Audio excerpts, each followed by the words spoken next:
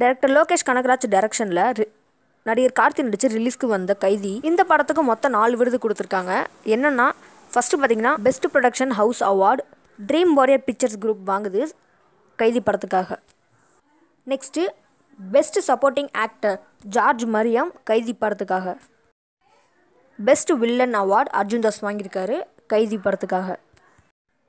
லாஸ்ட்டாக best stunt director அன்பு அறிவு கைதி படத்துக்காக வாங்கியிருக்காங்க.